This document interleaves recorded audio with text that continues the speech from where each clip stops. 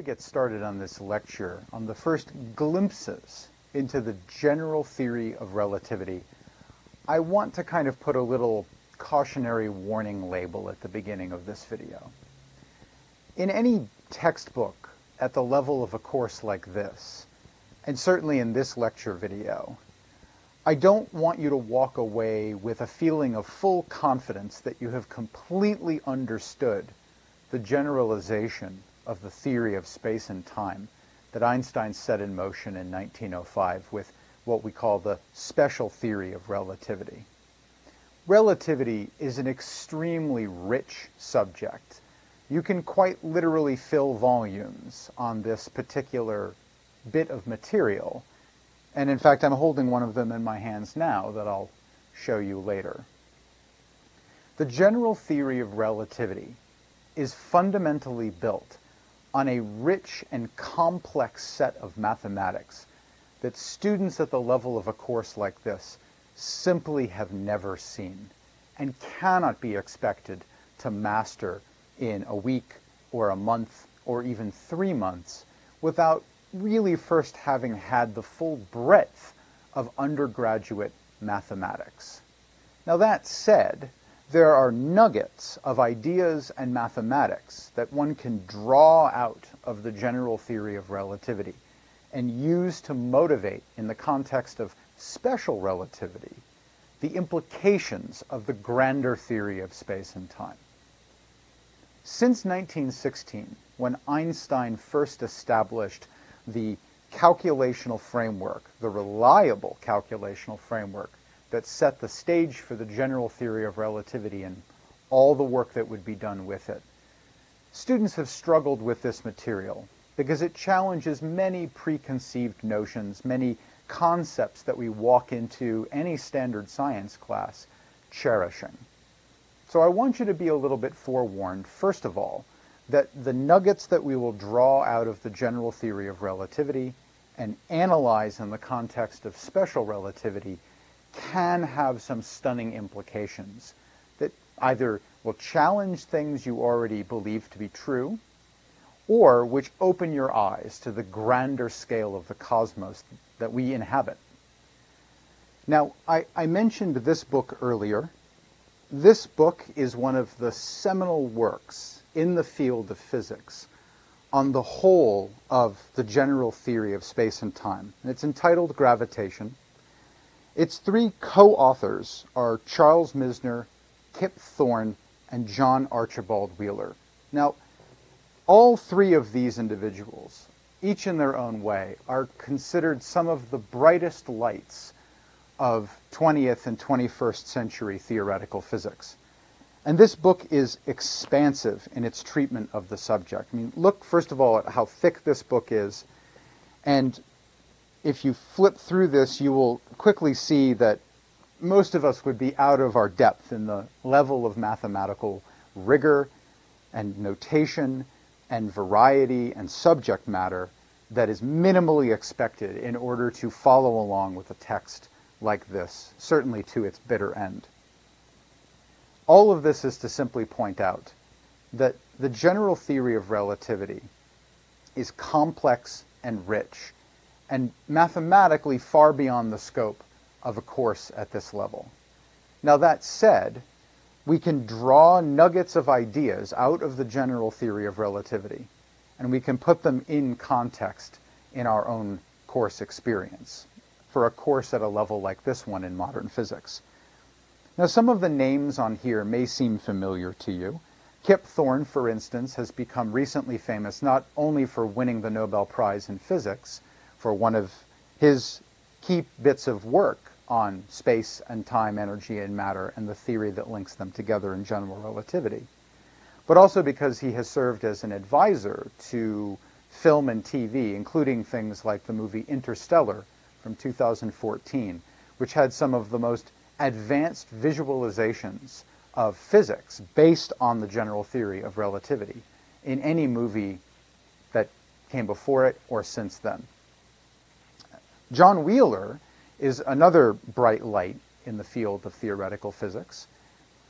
He will feature briefly later on in this lecture in the context of an individual who could not only deal with the mathematics of this subject, but elegantly communicate to an audience, even at the level of our course, the grandest sweeping summary of the general theory of relativity and its implications for energy, matter, space, and time.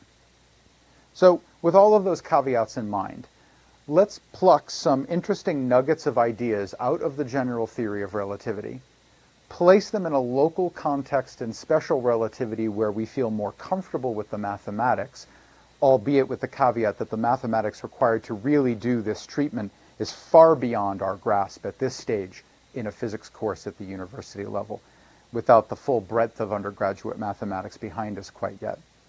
Let's see what those nuggets tell us should be revealed about energy, matter, space, and time. And then let's look at how those ideas have implications for the whole structure of the cosmos in which you and I live. So, with all of those things in mind, let's start digging into some of the basic ideas that motivated the general theory of relativity and take a look at some of those nuggets of ideas that we can couch in the picture of special relativity that we're a bit more comfortable with at this stage of our engagement in physics. In this lecture, we will learn the following things. We will learn about the transition in thinking from the special to the general theory of relativity. This will by no means be comprehensive, but merely a taste of some of the basic ideas that led Albert Einstein ultimately to construct this theory of space and time. We'll look at some implications of the general theory of relativity on specific physical phenomena, and we'll look at some of the large scale implications for space and time. Let's talk a little bit about the transition from special to general relativity. Experiments on the speed of light in the first and second decades of the 1900s continued to yield no disconfirming evidence for the postulates of special relativity. Now, Einstein's physics work in 1904 and 1905 and beyond earned him the faculty position that he had so richly sought after his PhD. And he was able to escape the job as a patent clerk in Bern, Switzerland, and finally take on the mantle of the academic position that he had hoped for after earning his PhD.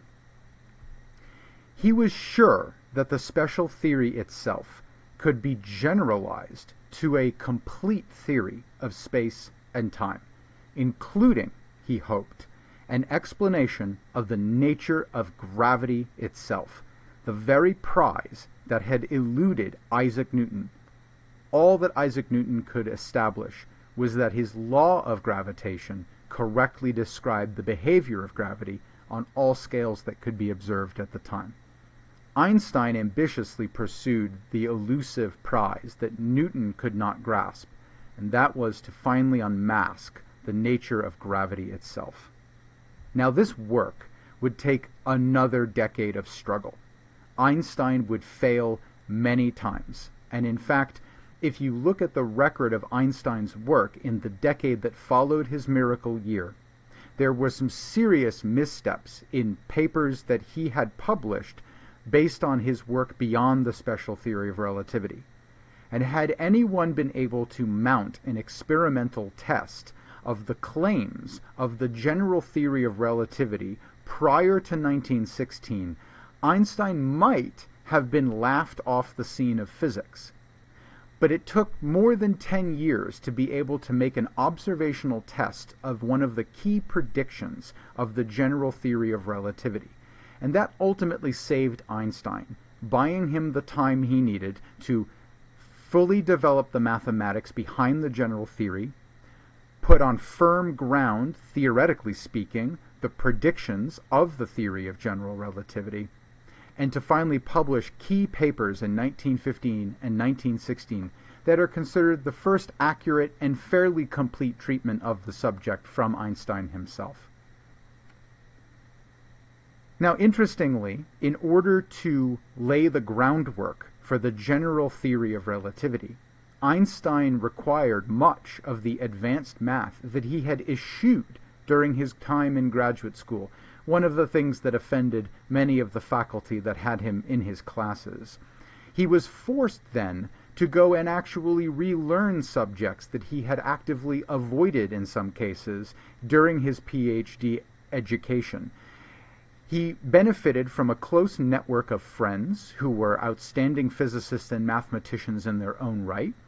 And through his network of friends, he was able to build his own foundation strong enough to eventually lead to his key insights and firm mathematical grounding of the general theory of space and time.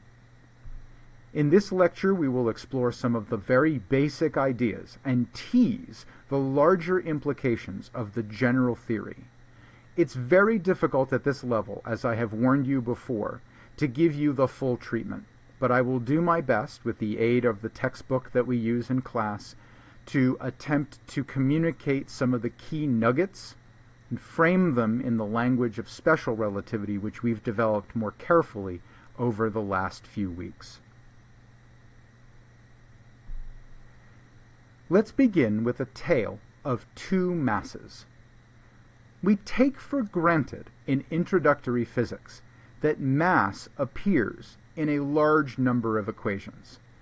But if you really boil it down, mass as a concept appears in two distinct equations in introductory physics.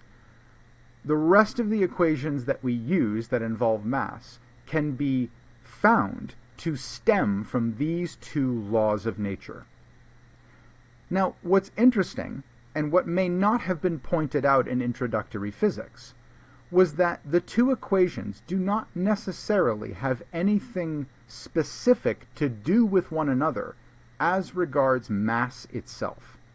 The two equations in question are Newton's second law of motion, F equals ma, where mass appears as the multiplicative scalar factor in front of acceleration, the constant of proportionality between what an external force of a general nature exerts on a body and the responding change in the state of motion, the acceleration of the body. But mass also appears in an equation that describes the nature of a very specific fundamental force, gravity. The law of gravity states that the force of gravity between two bodies, which we might label 1 and 2, is proportional to the product of their masses divided by the square of the distance between them. Now, the m for mass that appears in Newton's second law has to do with inertia, the tendency of a body to resist changes in the state of motion. And so it's more honest to say that Newton's second law is concerned with a mass concept we might label inertial mass, the mass of a body that resists changes in state of motion. But the m that appears in Newton's law of gravitation has to do with the primary cause of the gravitational force between two bodies that have mass. This doesn't necessarily have anything to do with their tendency to resist changes in the state of motion it has all to do with the degree of the gravitational attraction between the two bodies. This is more honestly referred to as gravitational mass, potentially distinguishing it from inertial mass. There is nothing in these two laws that says that these two quantities, these two kinds of mass, have to be fundamentally the same. And yet, their equivalence, the equivalence of inertial mass and gravitational mass, has been tested to a remarkable precision. Inertial mass and gravitational mass appear to be one in the same. Let's take a look at this by briefly stepping through some mathematics, now couched in the language of inertial mass as potentially distinct from gravitational mass and revisit some conclusions we drew in introductory physics. So, a consequence of their equivalence is often taken for granted. what if they weren't equivalent? Well, if they weren't equivalent, then we would rightly state that two bodies that are acting on one another through the gravitational force can have their degree of acceleration explained by Newton's second law, but without necessarily equating inertial mass and gravitational mass. For example, if we consider the Earth to be pulling on a body, say you, you jump off the surface of a table in an attempt to accelerate down to the floor and land on the ground. The Earth is attracting you down toward its center. We can figure out the local degree of acceleration due to the gravitational force by taking the product of Newton's gravitational constant g, the mass of the Earth, and dividing by the distance between you and the center of the Earth squared. Now, we multiply that acceleration, which we often denote little g for gravitational acceleration, times your gravitational mass. And we set that equal to your inertial mass times your total acceleration. Now, if we then solve for the acceleration due to gravity, we find that this would be equal to this gravitational acceleration, little g, or big G times the mass of the Earth divided by the distance between you and the center of the Earth squared, times the ratio of the gravitational mass and the inertial mass. And if we were to substitute for little g, 9.81 meters per second squared here, we, we would conclude that if gravitational mass and inertial mass are not the same, if, for instance, the gravitational mass were 10% of the inertial mass, that only 10% of your inertial mass has anything to do with causing the force of gravity, well, then we might conclude that your acceleration might be very different than a body that has more mass. But we don't observe that. When two objects of different masses fall in a uniform gravitational field, a field of uniform gravitational acceleration, if you will, all bodies, even though they possess of different masses, appear to fall at the same rate. And so by eye, you can already draw the inference that gravitational and inertial mass are, if not equal to each other, very close to one another. And as far as the limits of our ability to test this have taken us, we've never seen a difference between gravitational and inertial mass. They really seem to be one and the same within the limits of experimental methodology.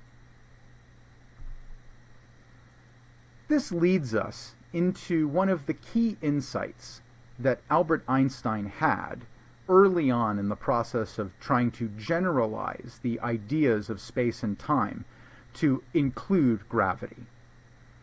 This is summarized by the phrase the equivalence principle.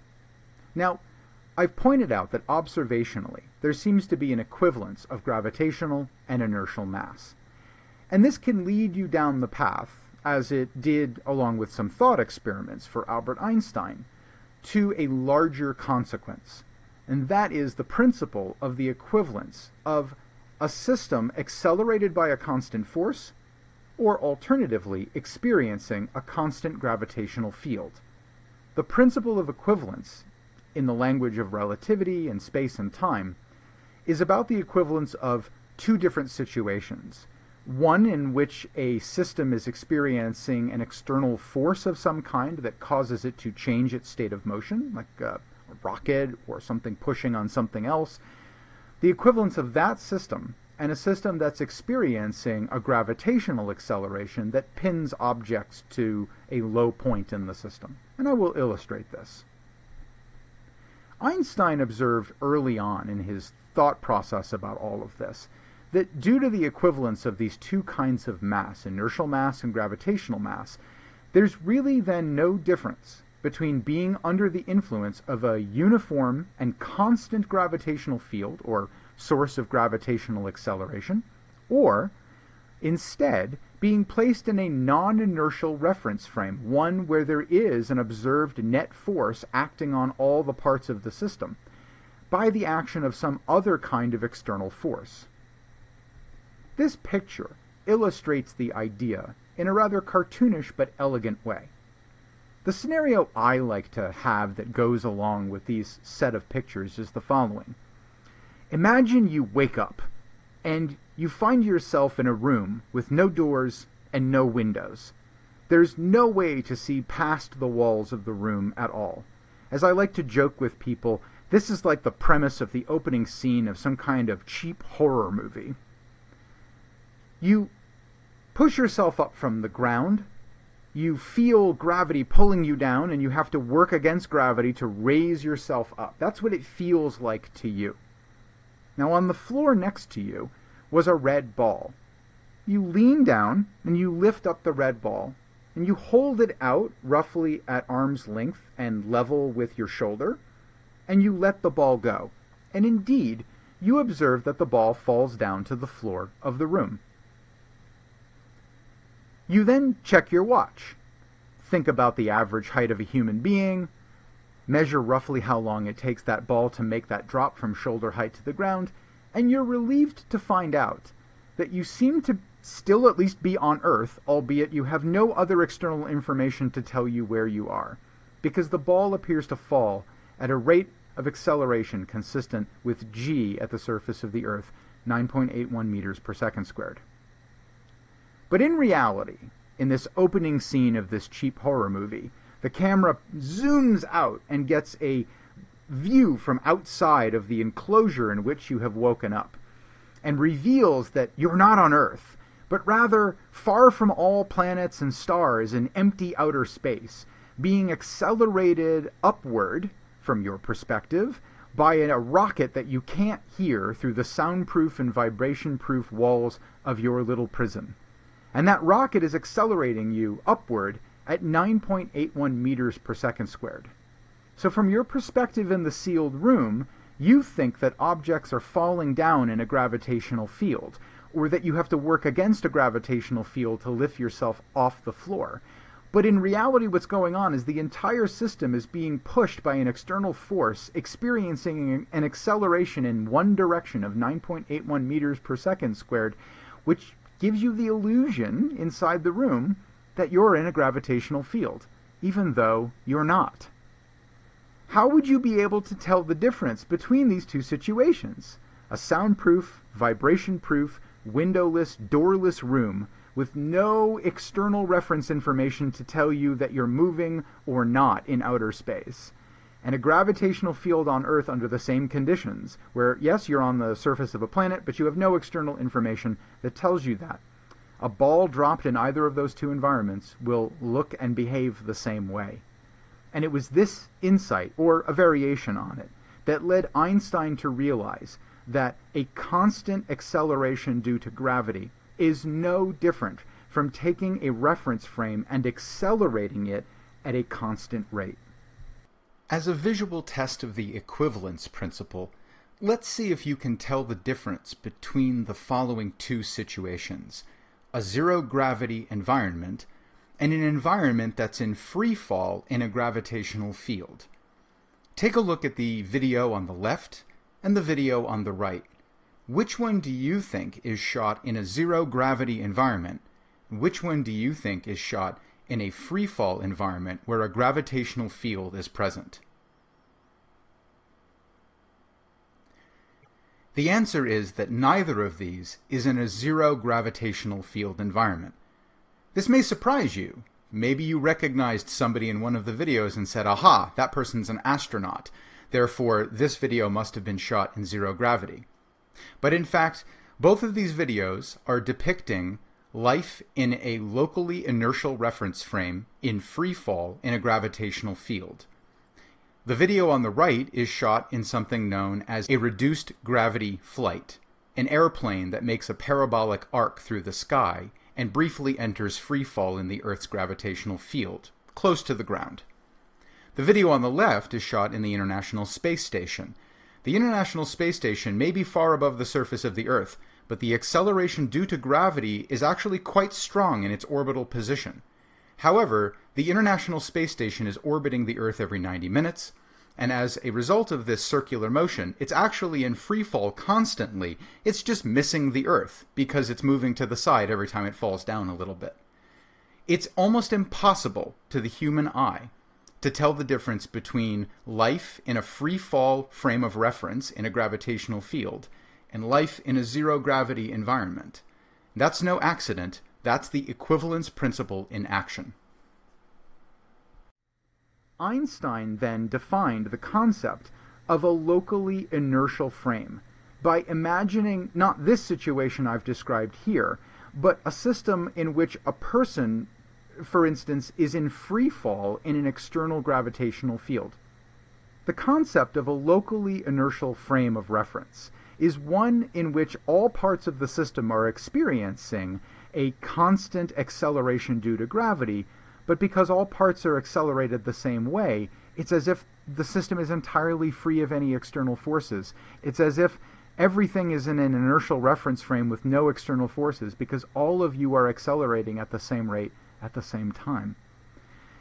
This is an incredible insight. It may not seem that impressive, but it frees you very suddenly from thinking of gravity and acceleration of an entire reference frame of things as different things. And it was this insight that freed Einstein to think about gravity in a completely new way as another aspect of space and time. The key idea here is that without external information in any of the situations I've just described, being in free fall above the surface of the earth, um, or being inside a sealed room with no windows and no doors that's vibration resistant and sound resistant. Without external information, there's absolutely no experiment you could do in any of those situations that will tell you that the system is either away from a gravitational source or simply in free fall in a gravitational field. These all seem like inertial reference frames as a result of that. Now, since there is no difference between gravitational acceleration and the act of changing a whole reference frame into a non-inertial reference frame, you can analyze phenomena in a situation, for instance, where an inertial frame of reference is considered instantaneously inertial. That is, although it experiences overall some acceleration, like taking a whole room, strapping a rocket to the bottom of it, and accelerating the entire room and all its contents up at 9.81 meters per second squared, you're doing that equally and fairly to all parts of the system. And so at any moment in time, all elements of the frame will have the same velocity. Now, of course, if you take an object off the wall of this frame of reference, hold it out and drop it, it will appear to fall down, because once you let go of it, it's no longer part of the frame of reference. It's not bound to it in any way. And so uh, it will appear to fall down as if under the influence of an external gravitational field. But of course, what's really happening is that the floor of the reference frame is being accelerated up toward the object, now freed from the bonds of the reference frame, at 9.81 meters per second squared. Perspective is everything. It's the relativity of whether you're falling in a gravitational field or whether the floor is rushing up toward you at the same rate.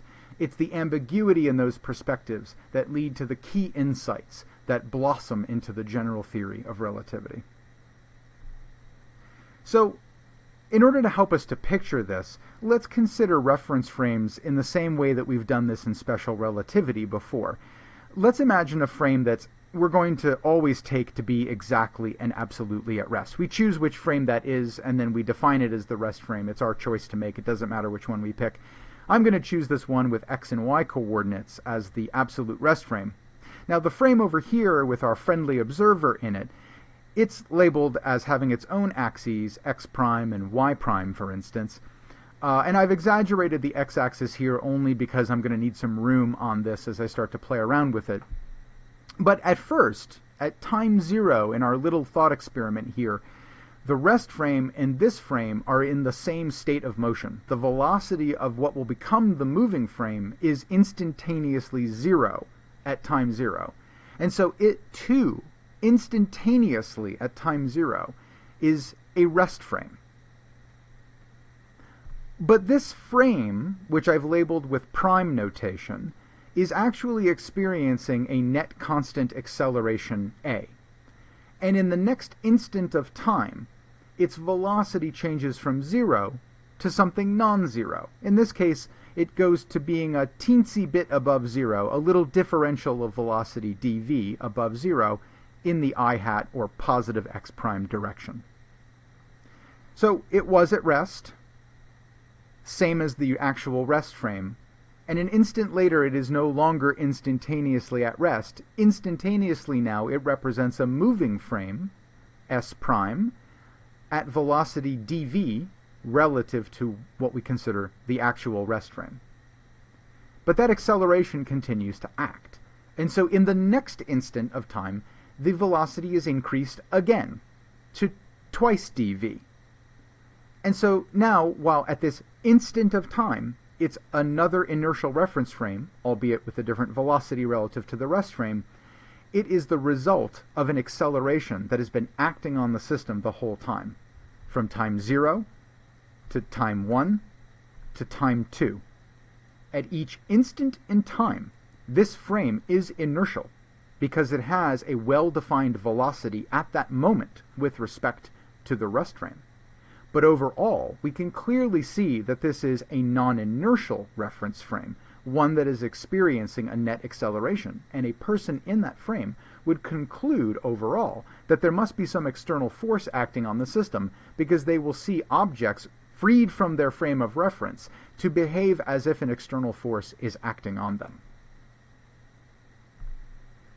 Now, let's start to dig a little bit into some of the implications of the more general view of space and time now that we've freed ourselves and allowed for the equivalence of a gravitational force to a frame that's non inertial, experiencing an external acceleration by any means necessary. Now, using this imagery of frames that are instantaneously inertial, but overall non inertial frames of reference, let's analyze an observation of light that has been emitted during this period of slight accelerations of the frame of reference S prime. So let's consider a light source, this black dot here, that's pegged to the y-axis of frame S prime. It's fixed in that frame. It's bolted to the wall. We can consider the y-axis to be a wall in the frame of reference, the x-axis is like the floor of the frame of reference. The person is firmly rooted on the frame of reference. And they're experiencing only a slight acceleration. It doesn't totally knock them off their feet to be accelerated. It's a very gentle acceleration. The speeds that we will consider always in these examples will be very much less than the speed of light. This will help us to get at the implications of general relativity without having to dig into the full general mathematics of relativity, which is much harder. So this is our situation. At time zero, we have our happy observer. They're looking at this light source on the wall that could emit a pulse of light at any time. And in fact, at time zero, we're going to allow the light source to send out a wave of light. So at that moment, t equals zero, it emits a wavefront. But at the same time, the frame is accelerating. It's been accelerating, and instantaneously at time zero, its velocity happened to be zero. So it was in our rest frame, as we've defined it.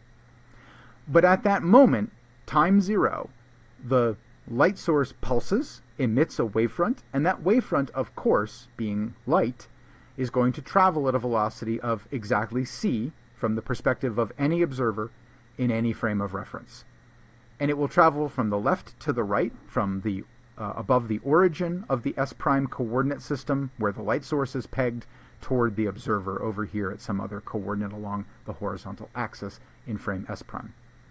So we have a light wave, a wave front, traveling at c, released from its prison in the light source at time zero. Now, at some time later, the light wave will cross the gap between the light source and the light observer, and the light observer will see it. But what will the observer see? Because in that time that it took the light wave to cross the gap, the frame has changed its state of motion from zero to some velocity dv. Will the observer see the light wave as it was emitted from the source, or will they see something else? Let's take stock of the key elements of this question from the picture that I showed you on the previous slide. First, the light was emitted originally from a source that was considered to be at rest.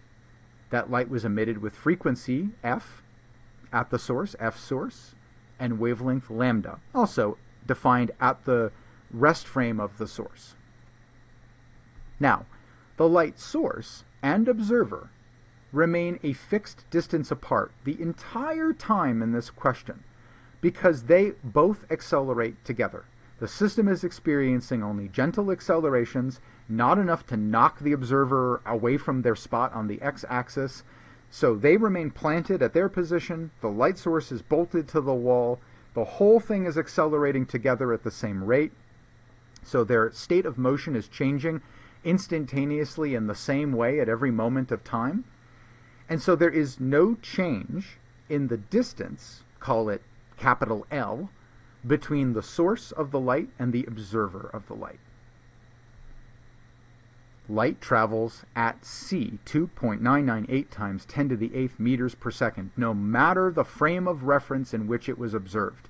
It was emitted in a frame that was at rest. It will be observed in a frame that is moving, but no matter the state of motion or the change of the state of motion of that frame of reference, the observer, if they were measuring the speed of this wave, is always going to say it moved at c. The light will take a finite non-zero time to travel to the observer from its source. It has to cross a gap. That's going to take some time and by the time the light reaches the observer, they will have entered a state of non-zero velocity. From the cartoon on the previous page, they went from zero to zero plus a little bit due to their acceleration, and I've called that little bit a differential of velocity, dv. Therefore, the light wave in the end will be observed in a frame of reference that is now moving with respect to the frame of the source, which had been a rest frame. What does this sound like? This sounds an awful lot like a Doppler shift problem. Light being viewed in a frame that's moving with respect to the original frame of emission. This basic insight then guides the math within the framework of special relativity that we can do to calculate just what the observer will see. So let's do some very basic calculations with this, building on top of all of the stuff that we've been looking at over the previous lectures and time in our course. I have emphasized this before, I'm going to codify it now. I want us to assume that we are in an instantaneously inertial reference frame. That is, at any moment in time, we have a definite velocity that's well defined, albeit changing from moment to moment to moment to moment we want the velocity of that frame to be greatly less than c, not even close to the speed of light, less than 1% the speed of light, or even smaller. And that's so that we can have v over c, which we've previously defined as this nice number beta, to be much, much less than 1. This is going to come in handy very quickly in this problem. Let's assume, again, as I pointed out before, that the distance from the light source to the observer, which is fixed this whole time, is some length L. Because the light source travels in the same frame as the observer, L remains constant the whole time. The light will take a time, which will denote delta t, t2 minus t1, t1 being the time of emission, t2 being the time of observation, and that's going to be given by L divided by c. Light has to travel across a gap of length L. It does so at a fixed speed c, the speed of light. The time that will take is L over c, full stop. Now in that time, delta t, the frame of the observer will have accelerated by an amount a up from rest to a velocity v. And we can actually then analyze this using the very same equations of motion from introductory physics, which are still valid here for the conditions that we're, we're looking at. There we could relate initial velocity to final velocity by considering the acceleration of a system and the time over which the acceleration acts. This equation will do nicely the final velocity v will be equal to the initial velocity v subscript 0, or v naught, plus a term that's the acceleration times the time that has passed over which the acceleration has acted. Now we can plug in some specifics here for us. v will be equal to 0, the initial velocity of our instantaneously inertial reference frame, plus the acceleration times L over c, which is delta t, the time it takes for the light wave to get from the source to the observer. This then leads us to the conclusion that v is equal to a times L divided by c. And if we transform this into an expression for beta, we find that beta, which is v divided by c, is given by the acceleration times the distance divided by the speed of light squared. Now, let's take this information and let's put it into the context of the Doppler shift, the relativistic Doppler shift, specifically the special relativistic Doppler shift. So we're going to treat the case of small velocities relative to light. Beta is a small number. The Doppler shift of the light wave by the time the observer sees it will be given simply by what we did before. We take the frequency of the source, we multiply it because the observer is, is in a frame that becomes a frame that's moving away from where the source was. We have to multiply by the square root of the quantity 1 minus beta divided by 1 plus beta. This represents a lengthening, ultimately, of the wavelength of the light, a redshift. But we want to get acceleration of the frame, the distance between the light source and the observer, and the speed of light into this equation. We want to put these things from our picture into this equation. And the way we can do that is by doing some binomial expansions of the numerator, the square root of 1 minus beta, and the denominator, 1 over the square root of 1 plus beta. Well, if you do those two things and multiply them, do the binomial expansion of the square root of 1 minus beta of 1 over the square root of 1 plus beta, multiply those together, you find you get expansion products that look like this. 1 minus a half beta plus terms that are um, higher order in, in beta, and 1 minus a half beta. The same thing again, plus again higher order terms in beta, which I've just left out but indicated that they're supposed to be there from these three dots. The product of these things is multiplied by the frequency at the source of emission. Now, because we're working in the case that beta is a number much, much, much, much, much smaller than 1 because v is much, much, much, much, much smaller than c, we only have to keep the leading terms in all of this. And if we multiply out this product and then only keep the, the, the leading terms in, in uh, beta, we wind up finding out that this product is approximately equal to just 1 minus beta, all times the frequency at the source of emission. Now, we have an expression for beta in terms of the acceleration of the frame, the distance between the source and the observer, and the speed of light. And if we plug that in, we get a final form of this approximate equation for the frequency that the observer should see. The observer, in the moment after the light has been transmitted, they accelerate, they get up to a, a, velocity v relative to where the source had been, and then they observe the light. They will see the frequency shifted by an amount of 1 minus the quantity al over c squared. This represents a shortening of This represents a decrease in the frequency relative to the source or an increase in the wavelength of the light. You can play around with this yourself and convince yourself that that's the case. But we basically conclude that the observer, who now at the moment of observation has been put into a new frame that's not that in which the light source was at rest when that emission had originally occurred, uh, will now observe the light to appear shifted from its source frequency, and in this case, it's a red shift. If the observer were in a frame accelerating in the opposite direction, in the direction from the observer toward the source, rather than from the direction of the source toward the observer, so A becomes minus A, then the light would instead appear blue shifted, shifted to smaller frequencies or shorter wavelengths. So let's think about light as viewed in an accelerating frame of reference. We've found by making this approximation that we have a frame of reference that's all accelerated at once, so that the light that was emitted at time zero is observed by an observer in a frame that's no longer at rest with respect to where the source of emission had been, that the observer will see a frequency as they accelerate to the right um, in the direction from the source toward the observer, they'll observe a reduced frequency of the light, a lengthening of the wavelength. But let's dig back to the equivalence principle. The equivalence principle states that there is no difference between an entire frame of reference that's all experiencing an acceleration due to some external force and a frame of reference that is merely experiencing an external gravitational acceleration. As a result of the equivalence of these two things, one is forced to conclude that the shifting of light must also occur in a gravitational field of acceleration. In other words, if the source of that acceleration is gravity, you know, for instance, A equals g times the mass of the Earth divided by the radius of the Earth squared, because you're standing on the surface of the Earth, that's just 9.81 meters per second squared, the old little g from introductory physics. And imagine instead we're viewing light from a source above us.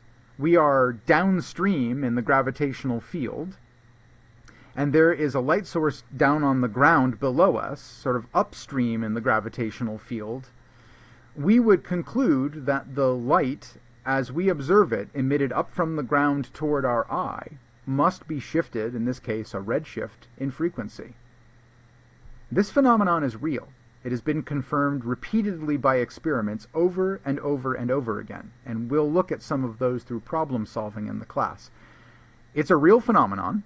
It must be taken to, into account when you are dealing with electromagnetic radiation and gravitational fields, and it's known as the gravitational redshift, or depending on how the problem is set up, gravitational blue shift of light.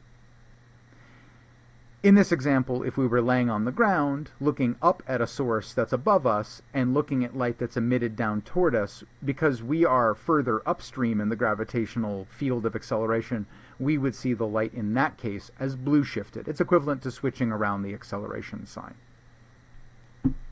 Now, this very same phenomenon, the red shifting or blue shifting of light merely because of its transmission, in a field of gravitational acceleration has other implications, including for the very nature of the passage of time in different parts of a gravitational field of acceleration. So, by implication from this previous example, the Doppler shifting of light by a gravitational field, one can also predict that time itself will pass at different rates, at different heights, different locations in a uniform gravitational field. We saw that the frequency of light in a gravitational field is altered depending on the degree of acceleration. If I increase the acceleration of a frame of reference, or equivalently, increase the amount of gravitational acceleration a system experiences, I will increase the Doppler shifting effect. Frequency, of course, looking back at the discussion of waves and the Doppler shift and other things related to waves, Frequency is a measure of the rate at which events happen, the time between events, effectively. So consider observing time at a height zero above the surface of the Earth. We'll call that person the lower observer, somebody right at ground level looking at time passing, say by looking at pulses of light or ticks of a clock or something like that.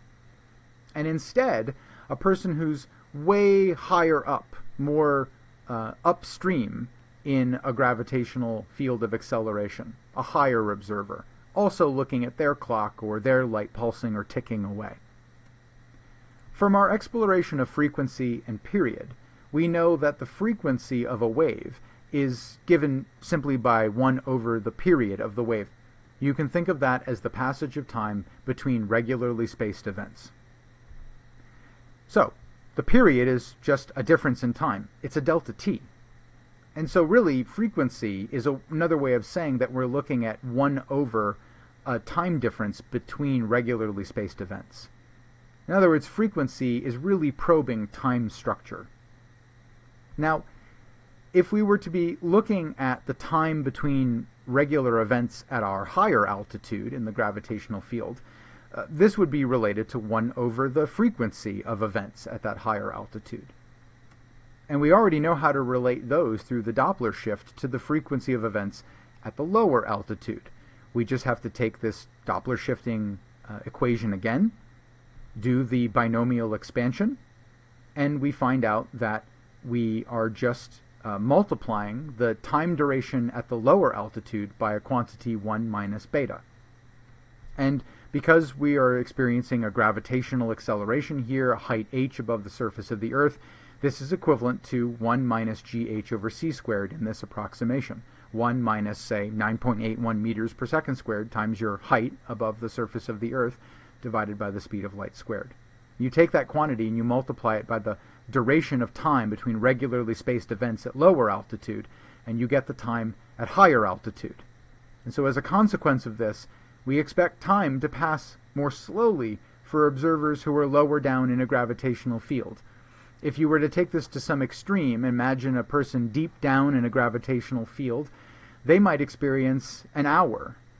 But a person higher up in the gravitational field might observe that days, weeks, or months pass, depending on the degree of difference of location in the gravitational field.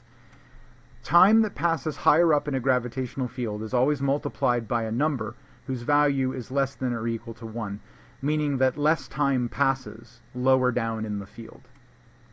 This is a real effect, and this effect has been confirmed experimentally over and over and over again and it plays a major role in the operation of key systems to modern existence, such as the Global Positioning Satellite or GPS system. All modern navigation typically relies on a system of about 24 satellites. Each satellite orbits the Earth twice per day. So it's moving very fast around the Earth as a result of that. These are not so called geosynchronous or geostationary satellites that always sit above the same point on the surface of the Earth. Rather, the GPS satellites orbit and they make about two rotations around the Earth per day. Three satellites at any time are required to make a triangulation measurement on the surface of the Earth, and they do this using very precise clocks that they carry along with them that have been synchronized to clocks on the ground. And this system allows you to make position measurements on the surface of the Earth. But the problem is, first of all, that those satellites are traveling actually very fast relative to the surface of the Earth. So they experience a special relativistic time dilation. Observers on the ground would claim that their clocks are running a bit more slowly than an equivalent clock on the ground because they're moving and people on the ground argue that they're at rest. So there's a special relativistic time dilation effect. But in addition, because humans who are down on the ground making these observations are lower in a gravitational field. An observer on the GPS satellite would argue that, well, okay, that's true, there's a special relativistic effect, but there's also a gravitational effect, a general relativistic effect, because the clocks on the Earth that we're supposed to be synchronized to are lower down in a gravitational field than the clocks in orbit around the Earth. And so for those clocks, there's a general gravitational slowing of time. And these two factors must be taken into account in the modern GPS system. And in fact, any guideline document that you look at for engineering systems for the GPS network will warn you about these corrections, spell them out for you, and tell you how to do them so that you can properly synchronize clocks, taking into account all of these time effects between the ground and in orbit around the Earth. These are real effects with real consequences on things like basic day-to-day navigation, and without the general and special theory of relativity, we would never have understood these. Had we launched a GPS system before understanding space and time at this level, we would have failed to construct a working GPS system.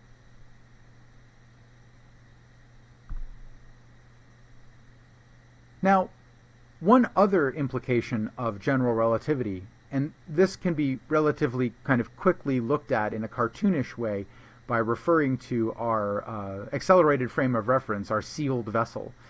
Um, this other effect that we'll take a look at here is the deflection of light by a gravitational field.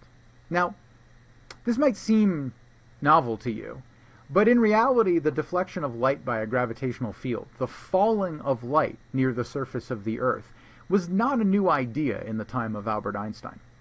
It was actually quickly realized, within certainly decades or a century, after the work of Isaac Newton had established the laws of mechanics and gravitation, that since all objects, regardless of their mass, fall at the same rate in a uniform gravitational field, think of dropping a wadded up ball of paper and a bowling ball at the same time from a few feet above the ground. If you drop them so that their bottoms are starting at the same height, they'll hit the ground at the same time. The mass of the paper and the mass of the bowling ball seem to play no role in the rate at which their velocity changes as they head toward the surface of the Earth. Well, if mass doesn't matter for gravitational acceleration, then even, one might argue, a massless phenomenon like light should fall in a gravitational field. Now, the specific reason why this would happen was put on much firmer footing thanks to the equivalence principle, and I'll walk through an example of that argument here. So, consider the cartoon at the right. We have our sealed vessel, it's sound and vibration proof, no windows, no doors, no way of knowing whether you're on Earth or far out in space, away from all planets and stars. Now, in reality, this system is being accelerated upward by a rocket you can neither hear nor feel nor see, and it's doing so at 9.81 meters per second squared constantly. So you're in this sealed room, there's a light source on one wall, and you can push a button and fire a wavefront, a pulse of light across the room so that it strikes the wall on the other side. Now, at the moment that the pulse is emitted, and that's illustrated here on the left, the line connecting its location of emission points straight across the room to a point on the other side of the wall. But by the time that the wave reaches the other wall, and that's illustrated here on the right, the wave, freed from its connection to this frame of reference that in the meantime has changed its state of motion, the light wave will travel on that absolute straight line. But from the perspective of a person inside the vessel looking at where the light wave strikes the wall, if they had very precise equipment, or if the speed of light were much slower than it actually is, then they would actually observe that the light wave strikes the wall at a point that's lower than where it was emitted from. So, in an external frame of reference, that light traveled on a real straight line. But the frame moved up in the time during which it crossed the room. From a perspective of an observer inside the frame who doesn't know that any of this is going on, they see the light wave strike the wall at a lower point, some vertical displacement below where it was expected to strike, that is, at the level of the emission source. So the light wave reaches the wall, but it does so, in this case, at a lower point. Now, by the equivalence principle, there is absolutely no difference between this frame of reference um, being accelerated by a rocket or a similar sealed room that's sitting on a planet experiencing a gravitational acceleration downward of 9.81 meters per second. And so, because of the equivalence of an accelerated frame of reference and a frame that's merely experiencing a gravitational acceleration, light must also fall in a gravitational field because there's no distinction between these two cases. It turns out that this is actually generalizable to any body with mass bending the path of light. And this is actually the key insight that Albert Einstein's general theory of space and time, the general theory of relativity, had that helped to distinguish it from Isaac Newton's original theory of acceleration and gravitation in Newton's theory, the deflection of, say, starlight around a massive body like another star is smaller than the deflection predicted in general relativity, which is supposed to be the more correct description of space and time and the way that energy and matter respond to space and time.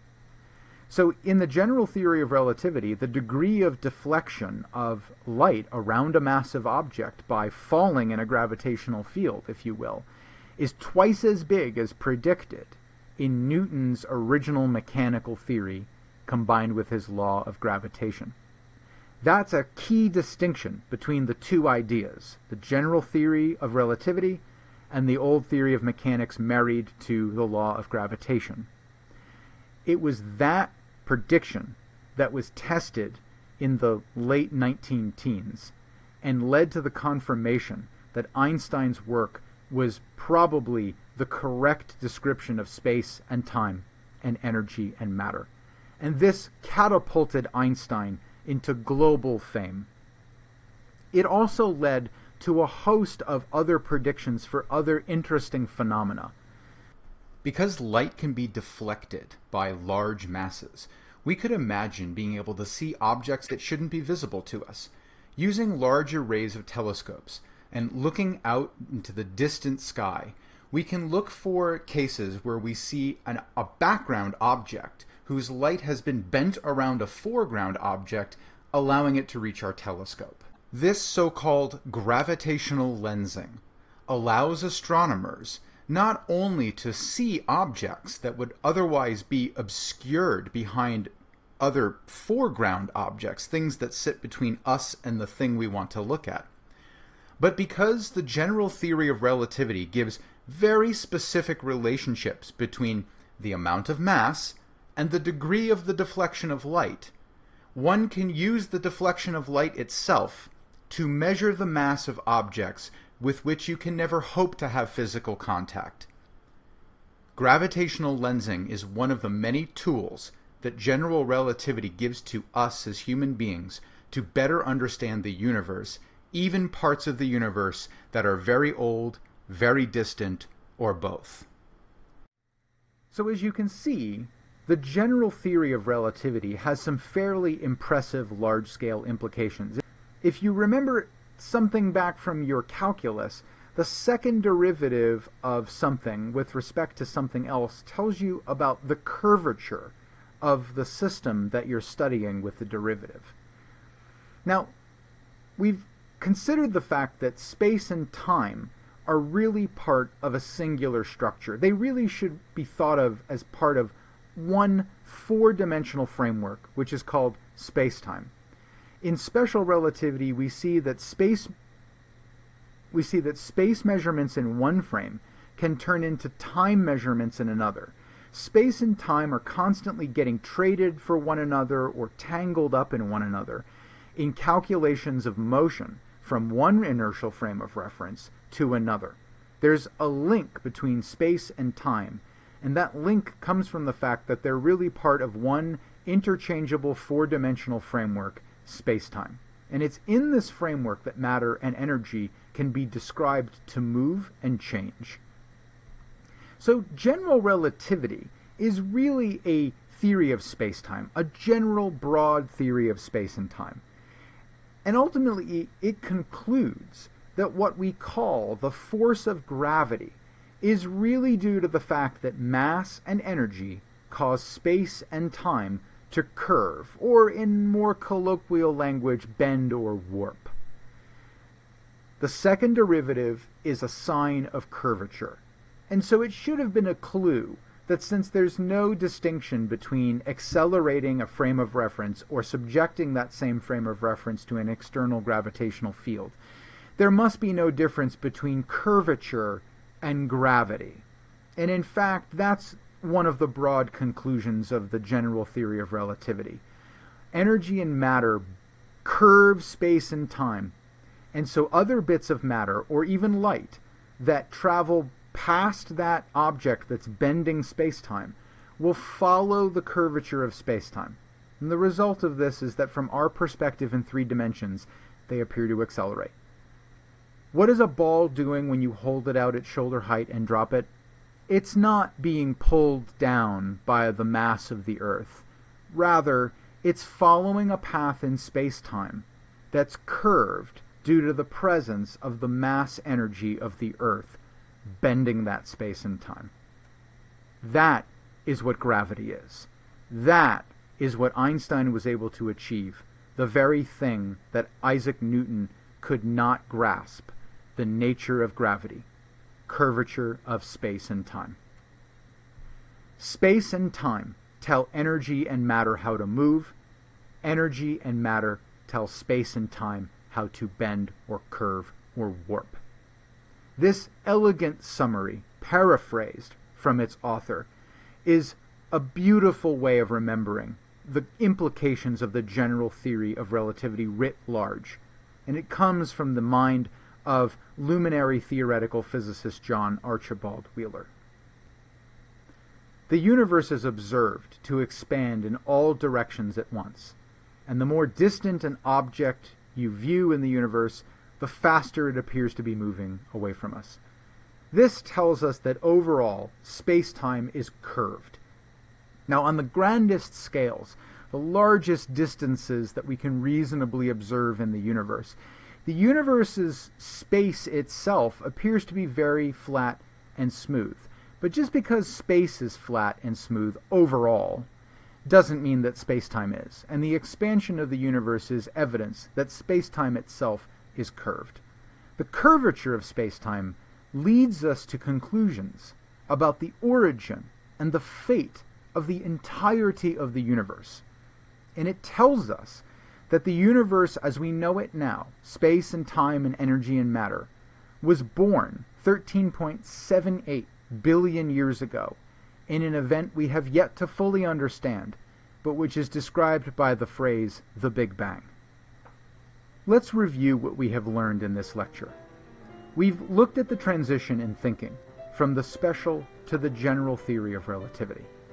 We've looked at some implications of the general theory of relativity on physical phenomena. Specifically, we've considered what it means for light to travel in a gravitational field from a higher to a lower vantage point in that field. We've concluded that light should Doppler shift, either redshift or blue shift, depending on the direction in the field that you observe it. We've also concluded that light should be bent in its path of travel in a gravitational field, and we've drawn all of these conclusions by using the equivalence principle to map behavior in an accelerated frame of reference onto a frame that's experiencing an external gravitational acceleration. We've then looked at some of the large-scale implications for space and time. The bending of distant starlight around massive objects that intervene between us in the universe the use of the warping of space and time and the bending of light to infer the mass of objects that we can never hope to weigh by putting them on a scale. And the overall implications for the nature of space time as a framework in which energy and matter play out, the fact that energy and matter tell space and time how to curve, and the curvature of space and time tells energy and matter how to move, and how the overall curvature of space time indicates to us the origin and possible fate of the entire universe itself. These grand themes all stem from the elegant thinking of a brilliant physicist who accepted observational evidence from experiment about the nature of light, thought deeply about the world around him, learned the math necessary to describe the universe, and in that elegant language spoke a volume about the cosmos that we are still reeling from today.